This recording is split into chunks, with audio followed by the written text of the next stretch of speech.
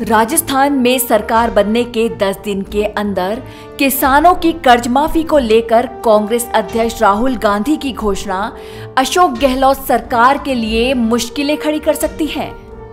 गहलोत मुख्यमंत्री पद की शपथ तो 17 दिसंबर को लेंगे, लेकिन उसके बाद किसानों की कर्ज माफ़ी का मुद्दा सबसे अहम होगा।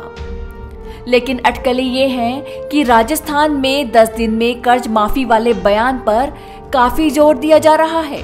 यहाँ तक कि किसानों के कर्ज के आंकड़े भी निकाले जा चुके हैं, जिसके लिए सरकार को उनसठ लाख चौरासी हज़ार किसानों की कर्ज माफ़ी के लिए करीब निन्यानवे हज़ार नौ सौ करोड़ रुपए से ज़्यादा का फाइनेंशियल प्रबंध करना होगा।